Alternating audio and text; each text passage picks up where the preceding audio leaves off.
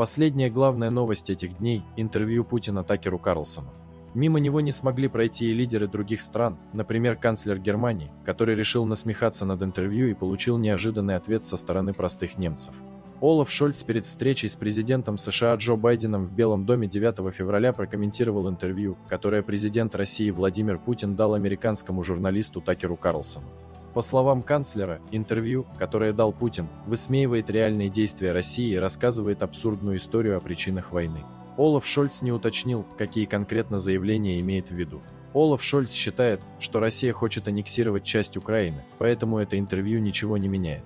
Граждане Германии после увиденного осудили канцлера и призвали прислушаться к Путину, не позорить Германию и перестать быть марионеткой США.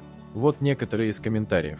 Все, что говорит глава российского государства, звучит логично и разумно, поделился своей точкой зрения один из пользователей сети.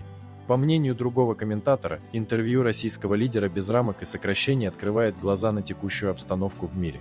«Мирные переговоры необходимы», – резюмировал третий. «Извините, я не должен говорить подобное. Россия уже и так огромная, самая большая в мире, сказал четвертый комментатор из Германии и заметил, что в то же время Россия является европейской страной. На протяжении всех 120 минут Путин выглядел очень собранным и потянутым, то и дело шутил, цитировал по памяти цифры и экономические данные, особенно в отношении США, которые находятся в упадке и поэтому ведут себя еще более агрессивно, отмечает. Еще один комментатор. Интервью президента Владимира Путина американскому журналисту Такеру Карлсону набрало более 200 миллионов просмотров.